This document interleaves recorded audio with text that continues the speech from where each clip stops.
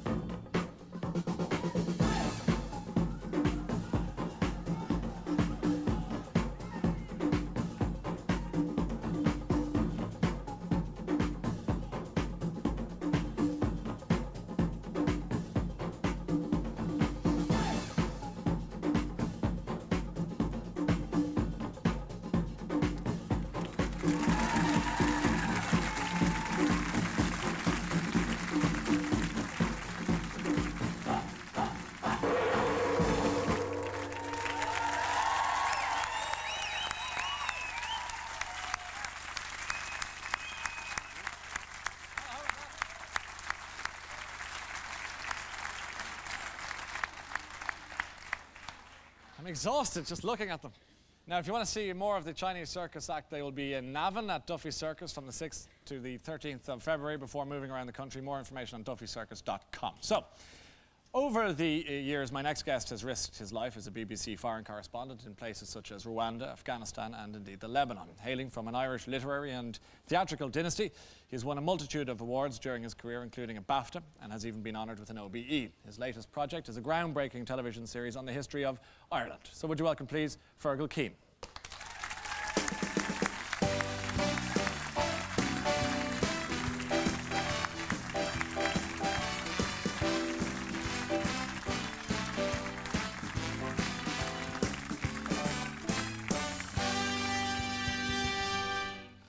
That's a selection of some of your achievements uh, down through the years. But am I right in saying it, the, the, the humble beginnings began with the Limerick leader? They did indeed. Are there any Limerick people in the audience tonight?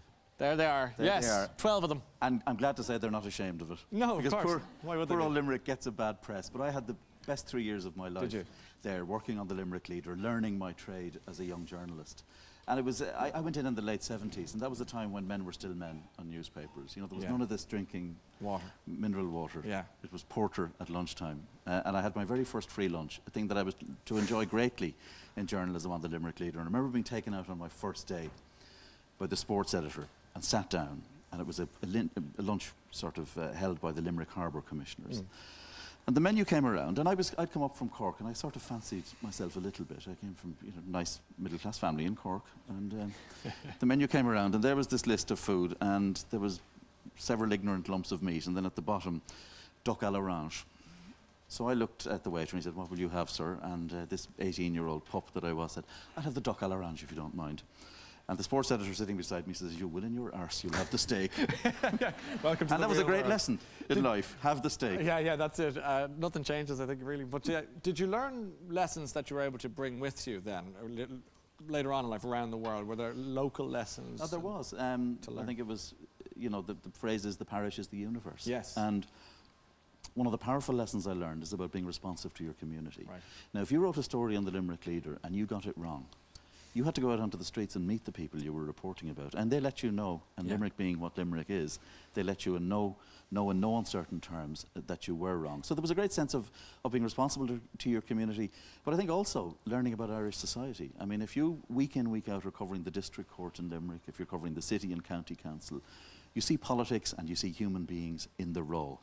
And the lessons that I learned there uh, about how people behave, how they carry themselves in life, I think they sustained right through throughout Yeah. my career. Yeah, and I would imagine then when you, you became the BBC Northern Ireland correspondent, then you, you talk about knowing the community and giving a damn about their sensibilities and sensitivities as opposed to just the audience you were broadcasting to. Were you able to bring that with you? Was that yeah, I mean, that was hugely important. I was conscious of the fact going up there as a southerner Yes. that the vast majority of us knew nothing about the place. I think we'd been turned off by 20 plus years of violence out of the north. Mm. When we heard a northern accent, we closed our ears Yeah. because it meant trouble. Mm. You know, that's, that's the mentality that existed here. And I went up, I think I was, I was, I was, I've always been intellectually curious, and I've always been curious about my fellow man. Mhm. And I went to the north determined to do one thing, and that was to try and stand in the shoes of the people that I was reporting about. Whether they were nationalists on the Falls Road or they were Protestants on the Shankill Road. The only way you can ever, as a journalist, really understand people is to try and put yourself in their shoes and not, uh, not stand aloft, you know, and condescend to them or Yeah. patronize them. And were you seeing, say, foreign networks from all over the world coming in and giving the slightly Darby O'Gill version of things uh, and, and kind of watching it o' gassed? misery. I mean, Derby it of was- misery, yeah. you know, it was. Um, yeah, I think the, the international uh, community tended to look, and you still see a bit of it in the Yeah. reporting of what's going on at the moment. Um, Ireland, and I suppose we've played up to this a bit ourselves. There's sort of two default modes in this country. One is, sure, aren't we fantastic? It's all great, and the other is, oh mother of God, we're all going to be destroyed. Yes. And you know that that stereotype is picked up by the international media, and I saw it an awful lot in Belfast. Did you? The number of times that I heard international reporters saying the immortal phrase, tonight Belfast stands on the brink. I mean, it must have had vertigo, the place. It was standing on the brink that often, you know. I, you saw it clearly. You would have seen such uh, horrific things. I think you were there for the, the, around the last five years pre-peace uh, ceasefire, first ceasefire at least, and you would have seen awful things, no question. But I can, Im- I, ca- I can't imagine, but I can only surmise that nothing can prepare you for something like Rwanda when you were sent out there. I mean, that's a different playing yeah, field. I, um, I'd covered a lot of war by the time I got to Rwanda, Sure. Northern Ireland, Angola, South African Yeah. townships. And uh, as that person said to me, this stuff doesn't go away. Experiences of that magnitude don't go away, but you learn to live with them. And the way, the critical way that I learned, I've learned to live with it, is by having a loving, wonderful family. Yeah. I have two beautiful kids, beautiful wife. We have the best fun in the world. And that's what keeps me sane. That's your uh, And- safe and, haven. And when the memories come back and I see things um, from those years, I just get up and I walk into the room with one of my kids and I talk to them. and that changes it. Yeah. What is the effect of holding your son or your daughter uh, when you're in that dark place? What does that? What, what is the effect on, on your emotion? Oh, it's um, it's uh, a transformation. It really is. You, uh, you, you, it puts you in touch with the good, decent things in life, and the good, decent things in life are fundamentally about your family, and about your friends, and the people who don't care if you're a great foreign correspondent, or if you won awards, or if you're a big cheese or a small cheese. The people who will be there for you when all of that, as it must, goes away. Y- there's an expression that sometimes sounds quite glib and hollow, which is, you know, you, you've restored my faith in humanity. But just listening to you speaking, obviously those moments with your children, quite literally Mm. after Rwanda, for you at a very personal level, restores your faith in humanity. It, It does, yeah, it does. And I think one of the dangers of the job that I did for so long, and I don't do it anymore, Sure. one of the dangers is that you get a very skewed view of humanity. You just end up seeing the darkness all the time because you're flying into one place after another where people are being horrible to each other, where they're killing each other, where there's torture, rape, uh, and murder. And if you go with the diet of that all the time, you don't really see the world in the round. You know, do, and you become is- immune to it? yeah, you can become immune to it. You start to get cynical and angry. Yes. Yeah. You get angry yeah. because you know there's nothing you can do about it. And that's the most frustrating feeling of all. Uh, was it the Lebanon that made you decide out? yeah. What happened? Was that a I mean, particular think incident or a combination of many? it, it, this had been coming for years, Yeah. and there have been many, many close shaves. And as well in the Lebanon, we were just, you know, there was particularly indiscriminate bombing. Um, now, you know, both sides were being pretty brutal, but Mm. going into hospitals every day, seeing children who'd been scorched red by, um, you know, by bombs, um, had their arms, legs blown off, all of that. I just ha- had it. And, and then th- we were coming back from um, a refugee village one day when we were mortared in a convoy. And they hit the car in front of us and they hit the car behind, and we got out of it and got great help from an Irish Army officer. I mean, it was one of those beautiful moments where you hear, I rang the local UN and I heard an Irish officer at the other end. and they gave us an escort to safety. But after that, I think accum- you know the, the accumulation of experience of near misses. Um, I just had to get the message, Yeah. you know, and I think I was ready for it. And I, uh, I look back at that now and I just think, what on earth were you at? And uh, maybe I'll reach a point where I can recognise, yeah, I was doing it for important reasons, but um, I'm still in a place where I, uh, to be frank with you, wish I hadn't done a lot of it. So regret. Yeah. Yeah, but you're in a you're you're in a better place to use the kind Oh God, yeah. at risk, the risk of having a self-help moment. you, you sound like you are, and, and you're on you're on slightly more I terror. you can feel my pain. I Right? can, Yeah, I'm not yeah. feeling your pain, I, I- but I'm, I, I- I'm curious to hear what you're, what you're saying, I have to admit. But uh, the story of Ireland is... is Yeah, which is a piece of cake after all That's that. what I was going to say. Talk about terra firma, but you're also, you're, you're out of the, the whiff of sulphur is, Yeah, has yeah. dissipated and you're now into sort of history mode, looking at your, your home country, so to speak. And just to kind of set, set up this, uh, the, the few questions I, I have time left to talk to you, to ask you, let's just get a taste of where you're coming from on this program. Have a look at this.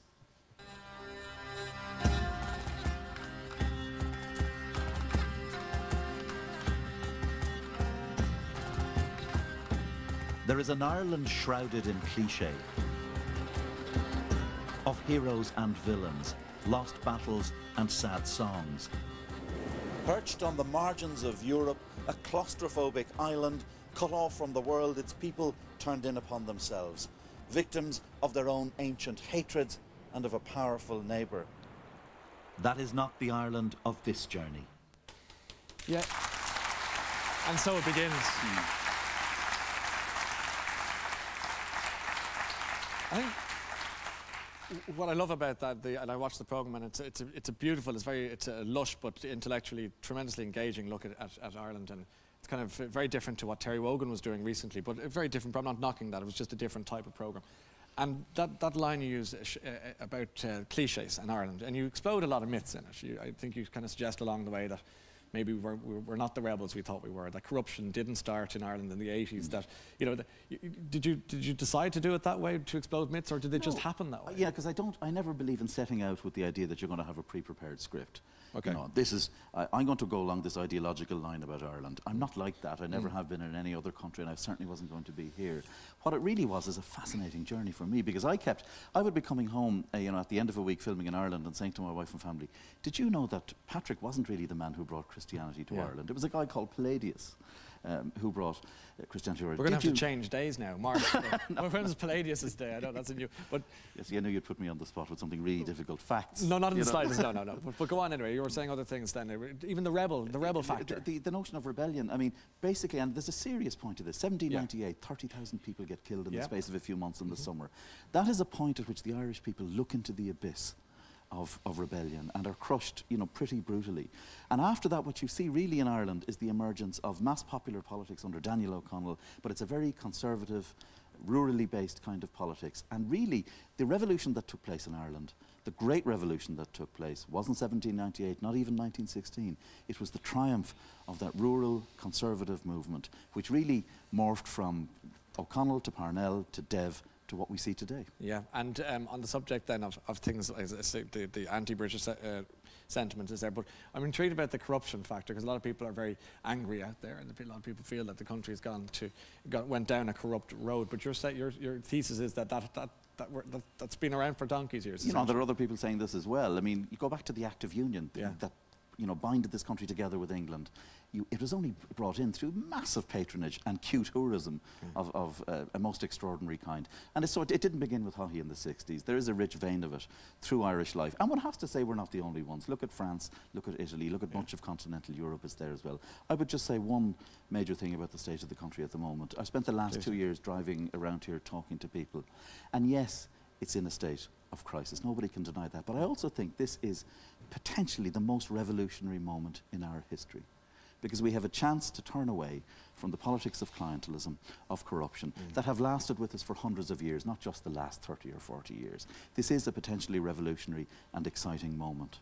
But that would have to be root and branch. I mean, it, it's, it would have to be fundamental change. It can't be piecemeal Mickey Mouse stuff. No, no, I, I'm, a, I'm a gradualist. You know, this, the, it is not in our nature to overthrow the system that we live with. Yeah. Let's just accept that. That's not how the Irish are. Yeah. But I think you're going to see over the next 10 to 20 years a complete and utter change. Nobody who stands for election now, none of the young candidates nowadays, is going to believe that they can go into politics and milk the Irish taxpayer. correct. Those days are gone. And I think you're going to see a much more idealistic, a practical idealism in this country. Do you miss home? You talked about your, your wife and kids. You're obviously very happy family man and so forth. Do, would you ever aspire to? I often speak to a lot of Irish uh, guests on the program who go away, and some have returned, and some talk about returning, and some say, "I'll never come back again." Where, where are you in, in that sense of Ireland and, and England and so forth? Well, I think Frank O'Connor memorably said of Cork, you know, I may have left Cork, but Cork never left me.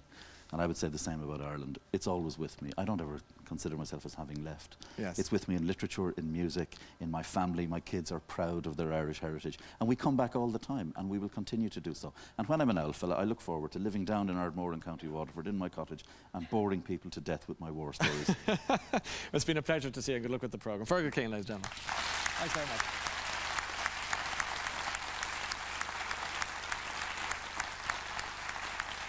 Okay, and by the way, the story of Ireland that we just saw the clip of there, the story of Ireland can be seen next Tuesday on RT1 at 10.15, and there's a book to accompany the series too. Very interesting, they are both.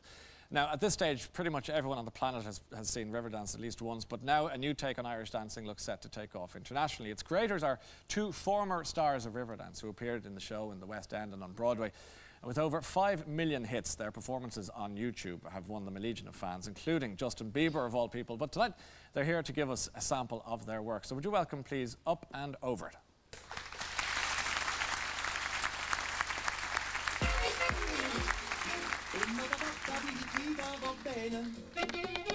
Se tu la parla americano Quando si fa l'amore sotto la luna Come te viene in capo di I love you